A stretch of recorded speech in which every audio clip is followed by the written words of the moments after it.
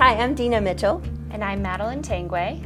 And we're with Realize Colorado. Realize Colorado is a destination management company, or DMC, and we work with corporate, incentive, and association groups that come to the state of Colorado. We work with them on all logistics and coordination with whatever destination they're coming to. And we handle everything, including meet and greet at the airport, transportation, custom welcome gifts, team building, recreation, decor and production, venue management, and anything else they might need.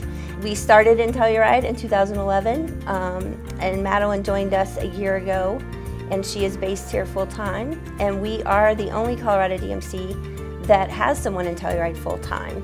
I really enjoy working for Realize and in destination management with events because each event and every group has its own set of challenges. We are kept on our toes all the time. so Madeline, what's your Telluride story? So I was born and raised in southern New Mexico, but my mom's family is from Ridgway. so I would spend my summers as a kid in that area and all of the mountain towns off of 550. Um, I went to college in New York for fashion school. I worked in that industry there and in San Francisco for several years. And in 2013, my boyfriend, now husband, got a random opportunity to work for Telski.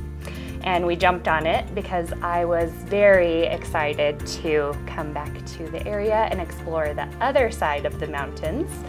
Um, and I had to figure out what I was going to do.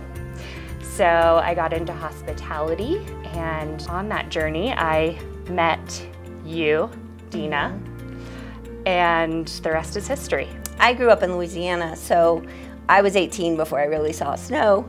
Um, I came out to CSU for school for my freshman year in the late 80s. That spring, right before school was out, my parents called me and they said, We bought a motorhome and we're coming to get you. So I was 19 and my little brother was 12.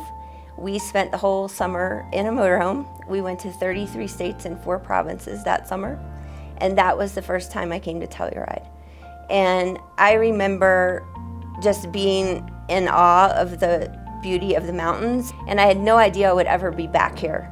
And then in 2010, my husband got a job offer here at the Peaks. And so we made the move in 2010 and I didn't have a job. I had no idea what I was going to do. And so I worked for guest services for TMVOA.